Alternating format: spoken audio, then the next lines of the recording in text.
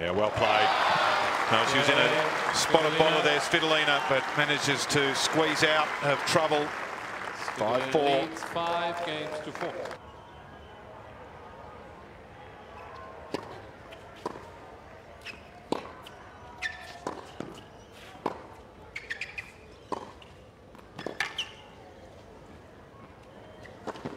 Well, Elina Svitolina was cruising along and then she put the foot to the floor to take this opening set, 6-4. Have to go for the line every time. Just hit a great approach, be, be willing to take that volley.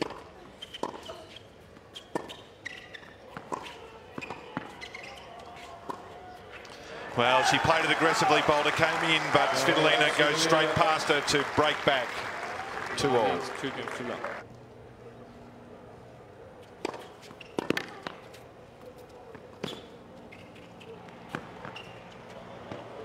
Well, too good. What a game from Katie Boulter.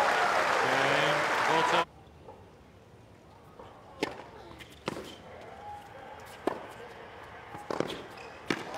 Well, fittingly, a big winner. And Elina Svitolina, the fifth seed. Wasn't easy, but she did it in straight sets. 6-4, 7-5 over Katie Boulter.